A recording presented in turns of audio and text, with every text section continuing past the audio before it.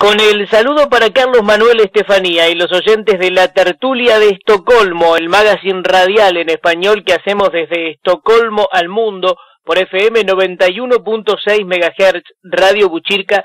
Hoy para Leandro Gasco es un gran gusto saludar, reconocer y entrevistar al gran actor galán de telenovelas y cine, escritor, autor, conferencista, líder, productor, empresario, artista marcial y con un fuerte compromiso solidario y generoso siempre, además, guía espiritual. Ricardo Chávez. Qué grato tenerte, Ricardo. ¿Cómo estás, hermano? Muchas gracias. La verdad es que me, me, causa eh, mucha impresión la, la, la, la, la presentación que has hecho de mí, porque la verdad es que no merezco una presentación tan grande, pero te la agradezco con toda humildad y, es un placer este, poder llegar a tus radioescuchas eh, por medio tuyo. Ahora, haciendo un recorrido, la verdad es que tienes un bonito presente, una hermosa trayectoria, son más de tres décadas en la industria del entretenimiento y por supuesto eh, por el mundo, rescatando esto de lo internacional, eh, por allí tenía presente sucesos en Brasil como marido en alquiler, en televisión o, vale todo, pero me gustó leer que te definías como un hombre renacentista, eh, un hombre antiguo que cree en el amor y la lealtad, donde los principios abandonados por el mundo moderno continúan vivos dentro de su alma antigua, este reservorio, refugio, Em, y hablando de, familia querida y de comienzos artísticos, Ricardo, naces en México, en familia de clase media, tú menor de tres hermanos, tus queridos don Juan y doña Hilda, y el ángel presente de tu nana Amelia, eh, papá ingeniero, de soltero cantó música ranchera, llegando a abrir conciertos del gran Pedro Infante, mamá muy bella por ahí, modelo. ¿Cómo recuerdas aquellos días en donde soñabas con una armadura de la Edad Media, la espada antigua, clases de violín, piano? Nos remontamos un poquito por, por galería y quiero que me cuentes. No, bueno, me encanta, muchas gracias, porque veo que es que, eso es todo de mí. y, me hace sentir, este, bueno, muy bien. Mira, eh, esos tiempos no es que los recuerde de hace mucho, porque yo vivo todavía esa, esa gran nostalgia por los tiempos pasados, por la Edad Media, por el renacentismo, por los símbolos que incluyen las espadas y, y todo aquello que tiene que ver con tu palabra y tu código. Eh, las espadas han sido algo que me han acompañado toda la vida, porque de hecho yo, una de las artes marciales que, dos de las artes marciales que he practicado siempre son artes marciales que tienen que ver con espadas, espadas japonesa y coreana. Eh, la espada para el, para el guerrero siempre simboliza el alma, ¿no? El alma del guerrero que debe mantenerse siempre pura, limpia, sin mancha, ¿no? Y siempre luchar por ideales altos y, y defender a todos aquellos que no pueden hacerlo por sí mismos. Entonces, si, si bien esto suena muy romántico, vivimos en tiempos donde esto no es bien entendido, no es, no es ni siquiera respetado en algunos ámbitos. Eh, la gente hoy día, eh, la palabra no significa mucho, pero vivimos en tiempos de cambio. Está ocurriendo una transición en este planeta, una transición eh, en la humanidad y es algo que me, alegra mucho, me llena de esperanza y que me tiene siempre hablando sobre ese tema. Ahora, cuando hablamos de la carrera del entretenimiento, del camino recorrido, obviamente es forjado con esfuerzo, porque bueno, siempre hay desafíos, eh, retos, obstáculos en el transitar. Ahora, eh, tú, Ricardo, desde muy joven, tuviste pasión eh, principal, motor para indagar, buscar sobre orígenes, realidad espiritual, naturaleza humana y psicología, e, en esto de contribuir y ayudar a los que sufren, y acá me detengo porque también quería em, realzar tu faceta como escritor y tus libros y pedirte un concepto sobre tus, tus obras, Divas Never Age, las divas son hermosas y tu vida no tiene que ser una novela que es bestseller disponible en inglés y español. Sí, mira, eh, yo considero que eh, todos aquellos talentos o facultades que uno pueda tener eh, deben ser usados para servir. Porque hemos nacido para servir, no para ser servidos. Y eso es un concepto que es bien importante entender para evitar el dolor en la vida. Cuando entiendes que has nacido para servir y usas todo aquello que sabes o aquello que aprendes para ayudar a otros, eh, las cosas cambian favorablemente. Yo, yo uso mi, mi, mi, capacidad de escribir, mi capacidad de actuar, mi capacidad de producir productos como los que has mencionado, Deep Never Age, para ayudar a la gente a transformarse, a una transformación siempre positiva, siempre eh, evolucionaria. Y bueno, mis libros sí, si bien tengo esos dos publicados, tengo tres más que estoy escribiendo. Eh, y en general todos mis libros tienen que ver con lo mismo, tienen que ver con nuestra realidad espiritual. Aunque claro, el de Divas es un libro que está ligado a mi línea de productos de belleza, pero también esa línea de productos de belleza la hice porque después de muchos años de ayudar a las mujeres a transformarse, a estar mejor en diferentes aspectos de su vida, sobre todo espiritual y emocional, me di cuenta de la importancia que, que también tiene para ellas, y también para los hombres, por supuesto, el, el cuerpo físico. Entonces eh, creé esta línea de productos de belleza natural, libro de, de, de, cualquier eh, producto animal, eh, orgánica, que es, la verdad es que es espectacular. Yo diseñé las fórmulas que han ayudado a muchas mujeres a tener un mejor cutis y hacerse mejor con ¿no? Pero esto es solo una parte de todo lo que hago, como tú bien dices. Eh, actuar, mi, razón para actuar es muy diferente a la de la mayoría de mis compañeros. Yo actúo porque sé que por medio de mi trabajo puedo inspirar a la gente a cambiar sus vidas. Eh, pueden ocurrir fenómenos como por por los cuales yo paso, pero yo cuando voy a ver una película, una obra de teatro, una serie, busco esa inspiración, no entretenerme, sino esa inspiración, ese cambio de vida. Y esa es la razón por la cual no acepto ciertos personajes y ciertas historias. Bueno, eso está muy bien realmente, ¿no? El, poder seleccionar y además eh, ver la trascendencia, ¿no? De, tú como, como modelo, como referente, como ejemplo y como mensaje que queda en la sociedad Pensaba también en, este recorrido justamente en eh, Dame Chocolate, en Diosdado Amado, tu, tu actuación, eh, y vuelvo también, por supuesto, al tema de artes marciales. Fue tu padre quien te introdujo en las artes marciales, eh, y qué importante en tiempos en donde la sociedad, lo decíamos, atraviesa por momentos difíciles, por allí está el tema de la droga, también desde lo personal las ambiciones, la corrupción, eh, el mal en definitiva, eh, un volver a la espiritualidad, al tema de la disciplina y al código de honor justamente desde las artes marciales. Así es, mira, tenemos que entender que somos espíritus viviendo una experiencia física en estos cuerpos en los cuales nos movemos. Eh, desgraciadamente la sociedad, los medios, los anuncios, la televisión, las revistas nos llevan a pensar que somos cuerpos físicos que requieren de algún tipo de placer, de algún tipo de gusto. No tiene nada de malo el placer físico, pero no es todo lo que somos. Somos espíritus y esa parte que siempre dejamos atrás la gente no medita, la gente no analiza, la gente no, no dedica tiempo para el silencio, que es tan importante. Eh, gracias a Dios, mi padre tenía a los hombres de la familia, a todos nos metía en artes marciales como primera cosa.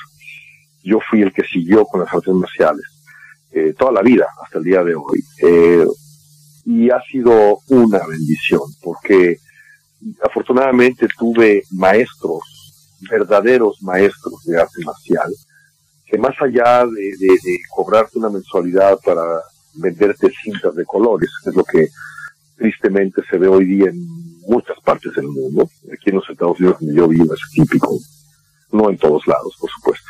Yo tuve maestros que me enseñaron que el color de una cinta es absolutamente irrelevante y que una cinta negra no significa nada, porque es simplemente un pedazo de tela oscurecida. La negra está en el alma, está en el espíritu, y esa es la que te lleva muchos años de entender. Porque el arte marcial, a diferencia de lo que parece, no es un arte de agredir, ni de golpear, ni de romper, sino de cuidar, de defender, de construir, de guiar, que es totalmente diferente. Entonces, con esta filosofía es con la que yo he tratado de llevar mi vida a través de, todas las etapas por las cuales he pasado, que no todas han sido fáciles, pero siempre queda esa enseñanza, siempre queda ese, ese libro de verdad que está grabado en tu alma, sobre todo cuando estás tratando de descubrir qué hay más allá de lo que vemos en los ojos físicos, ¿no? De dónde, las, las tres preguntas famosas de la esfinge, quién soy, de dónde vengo y a dónde voy es algo que ha vivido conmigo desde niño y por eso es que los libros han sido desde toda la vida mis, grandes amigos, mis grandísimos amigos, lo cual recomiendo para toda la gente que tenga oportunidad de leer. Bueno, sobre tu recorrido, decir que lo hemos apreciado en el sitio en internet ricardochávez.com, como yo eh, mencionaba, y es muy interesante cómo nos hemos detenido en el tema de las disciplinas, ¿no? De las artes marciales, porque a lo mejor vivimos días en los cuales mm, casi como eh, sin límite se ve una especie de, de, imposición casi este dictatorial de gente, incluso jóvenes que están constantemente con los celulares y que está bueno estar conectado, informado y con las redes, pero no que esto se convierta en 24 horas, sino que haya un lugar también para la reflexión, la meditación y para los principios y este tipo de disciplinas, ¿no? Hay una gran ausencia de identidad hoy día. Mm. Eh, la depresión es la enfermedad eh, de los últimos dos siglos, 2021. Eh, eh, según la Organización Mundial de la Salud, hay 300 millones de personas, más de 300 millones ya, de personas eh, clínicamente diagnosticadas con depresión. Pero se calcula que el triple de estas personas, es decir, casi un billón de personas, sufren de depresión profunda. Y muchas de ellas no lo saben, muchas de ellas no lo entienden. Y el, peor de los casos es que, perdón, lo peor de todo esto es que las familiares, los amigos, la sociedad no sabe cómo lidiar con un deprimido.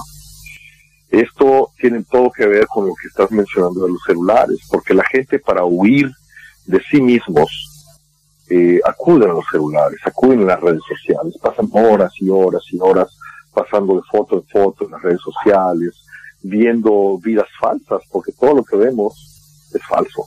Eh, esas vidas perfectas que vemos ahí es solamente lo que la gente pone para ganar seguidores, pero, pero no es una realidad, sin embargo causa una mayor depresión en gente que cree que su vida no sirve porque la vida de los demás pareciera ser tan maravillosa. Eh, tenemos que volver al, al, al, a lo básico. Lo básico está dentro de nosotros, puede sonar cliché, pero el maestro vive adentro de nosotros cuando la gente empieza a meditar, de, de, verdad empieza a meditar constantemente, todos los días, yo a mis clientes, porque también soy coach, coach, a mis clientes, una de las cosas, de las tareas forzosas que tienen que hacer conmigo es aprender a meditar. Porque sin meditación no puedes lograr nada, no puedes materializar nada, peor aún no puedes entender nada de lo que te pasa. Y somos constantes víctimas de aparentes uh, villanos cuando estamos simplemente sujetos a la ley de causa y efecto. Y, el abstraernos con los celulares, abstraernos con la risa fácil de las comedias y otras cosas, nos aleja aún más de una solución para una pura felicidad, ¿no? Que no está tan lejos. Estamos en este conversatorio con el gran Ricardo Chávez, que estudió baile clásico y danza flamenca con la leyenda Fernando Valdés, a los 16 años pisa por primera vez un escenario teatral, fue por supuesto imagen de grandes marcas mundiales como Hugo Boss o Armani. Por allí, en el haber hay 21 telenovelas, 21 telenovelas, 22 obras de teatro, 8 películas, pero el principal interés es la familia y el ejemplo que él da. Es querido y respetado por el público y los colegas y está siempre dispuesto a guiar a las personas para lograr sus sueños. Es así. Bueno, te agradezco mucho esa, esa descripción. Eh, hago, hago todo lo que yo puedo para que así sea. Eh, me parece a mí que si no entendemos lo que te dije antes, que nacemos para servir, no entendemos que tampoco hemos nacido para ser amados, sino para amar. Cuando pones el amor como la fuerza principal que debe guiar en todos tus actos, la vida se hace tan fácil. Eh, la familia es importante porque es, eh, digamos, el laboratorio privado en el cual experimentas todo aquello que ocurre afuera de tu casa, que ocurre en la sociedad. Si eres capaz de entender lo que pasa en tu familia, guiar con ellos, si eres capaz de guiar a tus hijos para construir eh, buenas vidas, construir hombres y mujeres de honor, decentes, buenos, que sean otra, una luz más en este caótico mundo que estamos viviendo, me parece que entonces somos capaces de multiplicar este mismo fenómeno a nivel social, a nivel mundial, ¿no? Y qué importante esto de la misericordia y también de la solidaridad. ¿Mm? Ahora. Sí, el. Dime, dime. No, no, no, iba solamente a mencionar la caridad, eh, que es la madre la misericordia, ¿no? está ligada al amor. Sin caridad no podemos eh, salvarnos, no podemos realmente hacer nada positivo para nuestras vidas. Si lo analizas, si lo meditas, verás que en la caridad lo está todo. Tú puedes tener cualquier cantidad de problemas, puedes tener errores, cometerlos, eh, algunos le llamarían pecados, yo no, porque no soy religioso, pero con caridad todo esto puede equilibrarse, la balanza se equilibra, porque cuando haces el bien a otros, aún estando en tu peor momento, ocurren varios fenómenos y uno de ellos es que te olvidas de tus propios problemas. Otro de ellos es que las cosas empiezan a mejorar en tu vida, simplemente porque empiezas a rodearte de presencias eh, positivas, de mentores espirituales que están dispuestos a ayudar a aquellos que cumplen su misión de servir a otros. Bueno, Ricardo, has estado en series norteamericanas, leí por allí CSI, La Ley y el Orden, Show Beach, y en la nómina de premios, bueno, múltiples éxitos en cine, por ahí Pretty Boy, ganador en Made Miami Film Festival, Tony, también se habla español, mejor actor en Tierra de Pasiones, televisión, premios revista Fama Miami, mm, mejor primer actor de novelas 2016, telenovelas Hispania, España, y más distinciones, Los Ángeles, Washington, Boston, New York, hoy abocado a las conferencias y, como decíamos, a estar cerca de los seres humanos, tocar su corazón y que la experiencia y las lecciones de vida contribuyan a, mejorar, ¿no? Y al bien en este sendero de la vida. Por ahí, buceando en el canal de YouTube Ricardo Chávez, podemos mencionar el poder de la fe y el pensamiento, transfórmate ya, nunca le ruegues a alguien para estar en tu vida, gratitud, piérdele miedo a la soledad, recupera tu poder, la ley de atracción que recién mencionabas, conquistar amor y felicidad. Mm. Sí, mira, eh, como te digo, yo creo que la gente me pregunta por qué digo que soy un hombre del renacimiento. El, hombre o la mujer renacentistas, eh, el renacimiento era natural, era esperado y era normal que aquellos que tuvieran los medios fueran capaces de, no sé, de hablar varios idiomas, de ejecutar varias artes, de igual montaban a caballo que usaban espada, que podían construir, que podían pintar, que podían esculpir. Era normal. Hoy día vemos como, raro cuando alguien tiene más de un, una profesión, más de un oficio, y pensamos que no podemos hacerlo bien si nos abstraemos de una o de dos cosas. Yo una de las cosas que les enseño a mis clientes es que esto es falso. Porque yo, yo me considero en primer lugar actor, que es mi pasión, es lo que yo más amo.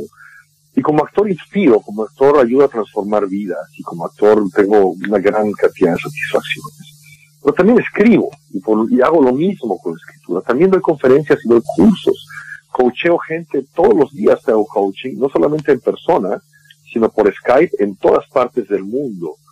Y sigo haciendo la misma labor, que es la de transformar, inspirar, cambiar vidas.